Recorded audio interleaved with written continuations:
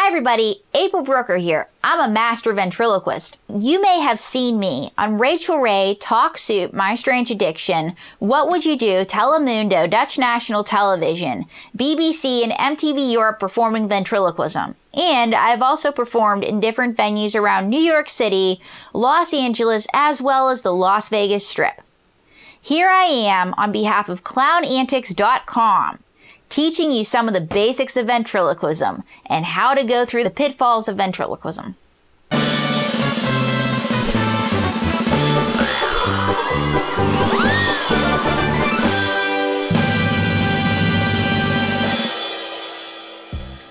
Well, as a ventriloquist, there are going to be different performance scenarios that you encounter.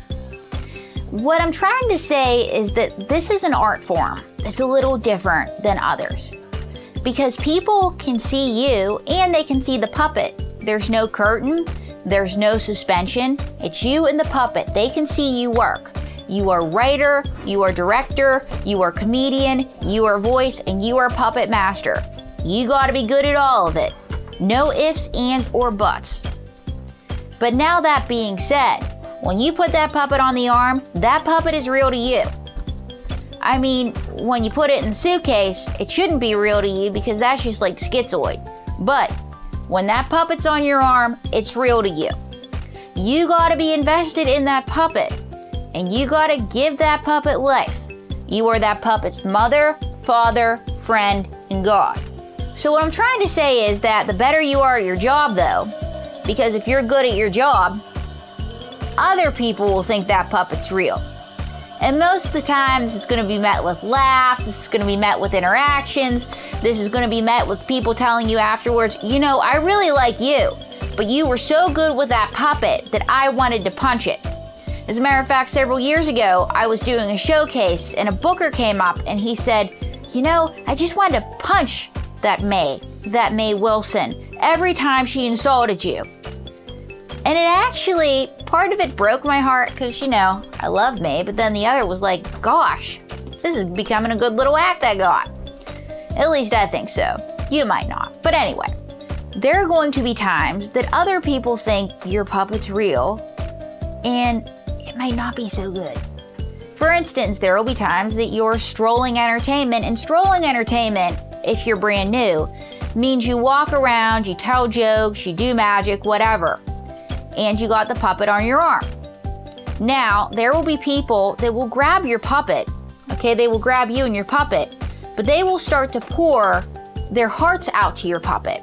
And what I mean is, they will talk about anything from their loneliness, how they're not getting any action in the dating department, to their recent divorce, to their recent firing, to how they hate their lives and, you know, some of it's the alcohol at these events, but some of it is these people really need somebody to talk to, and they haven't quite picked you, they've picked your puppet. That being said, you gotta have a catchy line to get away. Because, you know, the less you engage somebody that's detached from reality, the better, but also, you got a job to do. And I mean, you're just pretending to be detached from reality. You know the puppet's fake. These people, I'm not so sure.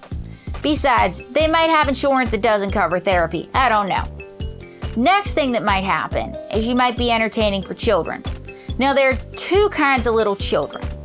The first kind are the type that are like, I know that puppet's not real. Your lips are moving. You're making it talk. And they kind of sound like Cartman from South Park. I'm just kidding. But my point is, is that those kids are the ones that know it's fake. And you can explain to them, yes, I am a ventriloquism person. Would you like to learn how to do it? And what you do is you teach them how to do it on the spot. They become the most obnoxious little practitioners of ventriloquism there are. And, you know, they're the ones that are like, I'm a ventriloquist, I'm a ventriloquist, I'm a ventriloquist. And they're saying to their hand, stop talking, I'm a ventriloquist, I'm a ventriloquist, stop talking. And you've created a little monster. That's how you win that one. But the second group of little children, they're not quite old enough to know what's up. And they think your puppet's real. And they're scared and they cry. And nobody likes a crying child, it's just awkward. No parent likes a crying child. So, what you could do is have the puppet come up to them, start talking, and make it very friendly and very nice. Compliment the child. And then, if all goes well, have the child give the puppet a hug. And if it even works out, take the puppet off your hand and show the kid the puppet isn't real. There's nothing to be afraid of. It's not really talking to them. Finally, the last group that's a little interesting are some of the dementia patients in nursing homes, and this is actually kind of sad. I did a lot of nursing homes as a teenager because where I grew up, we just had them, and that's what you do when you're a teenager. And there would be people in the nursing home, again with severe dementia, who were put there by their children. And sometimes the people we're related to are not so nice, and sometimes the people that we create and give birth to are not so nice. And so their children would put them in the home, and they would come up to my puppet and go, Get me of here! Get me out of here!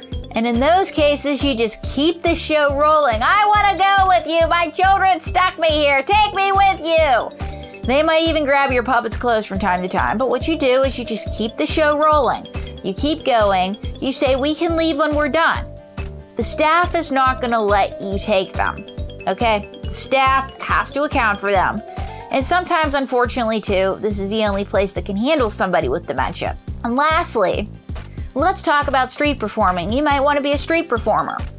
Be aware that most people will like your street performing. You're going to get some snarky people, but every once in a while, you might get attacked.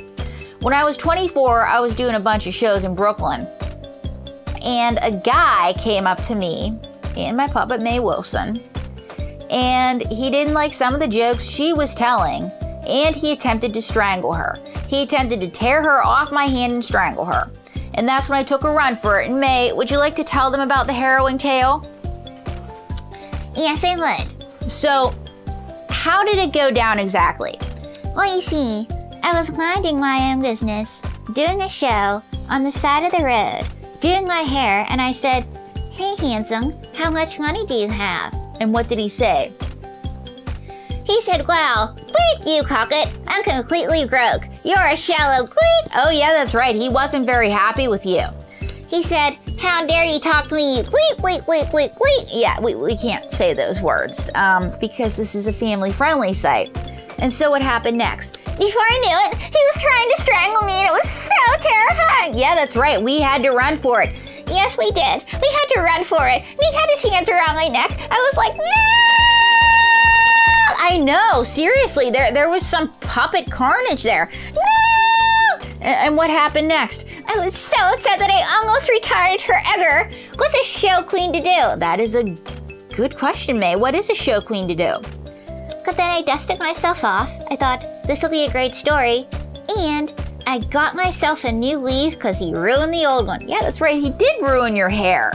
Yeah, that's what I was most upset about. He ruined my hair, okay? He was totally broke and he ruined my hair. Somebody that's broke shouldn't be allowed to ruin your hair.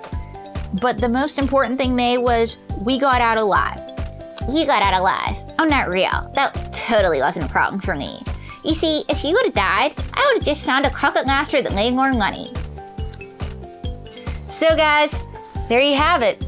Different types of audiences, different types of problems and ways to handle them.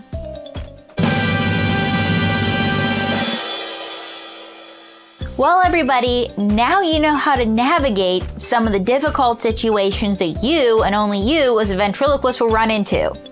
Tune in for more videos on clownantics.com.